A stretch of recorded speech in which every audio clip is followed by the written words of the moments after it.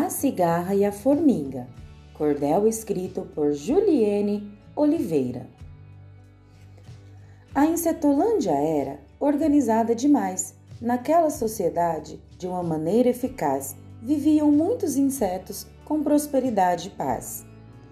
Quando chegava o verão, trabalho era essencial. Então, todos os insetos, de uma forma genial, exerciam seus ofícios com o maior alto astral. As formigas eram dez no trabalho coletivo. Juntas somavam as forças, então, por esse motivo, diariamente obtinham resultado positivo. Elas construíram abrigos para seus filhos proteger, armazenavam alimentos para ter o que comer, prevenindo-se para o inverno, que logo ia aparecer.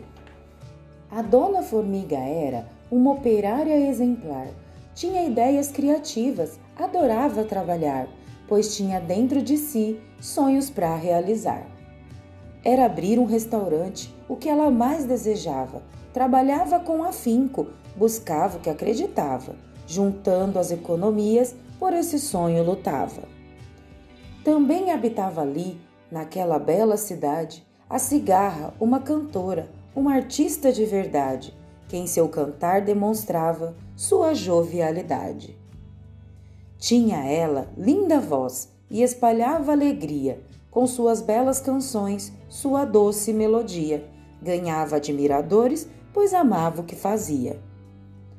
A formiga e a cigarra, vez por outra, se encontravam nas ruas da Insetolândia, porque ali habitavam. Nos encontros casuais, elas se cumprimentavam.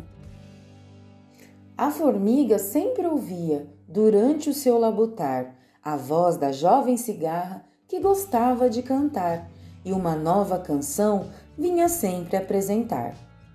Porém, os dias se passaram e o inverno chegou. Todo inseto em sua casa rapidinho se abrigou e cada um desfrutava dos bens que acumulou. Assim, a dona formiga, feliz nessa ocasião, Cobria-se com um lenço, todo feito de algodão, bebia seu cafezinho, comia um gostoso pão.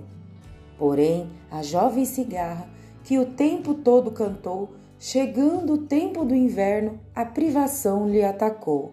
Então, com frio e com fome, a formiga procurou.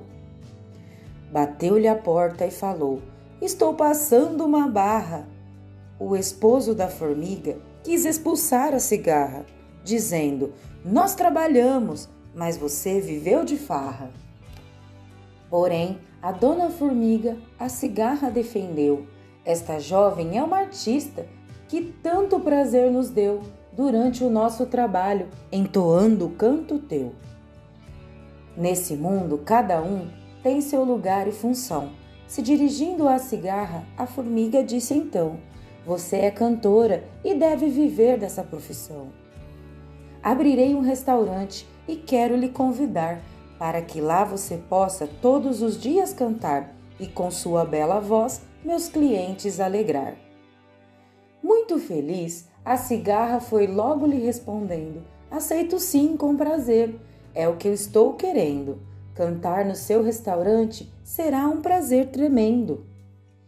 Uniram então seus talentos e, com essa união, em poucos dias depois, houve a inauguração. Com os insetos convidados, foi grande a badalação.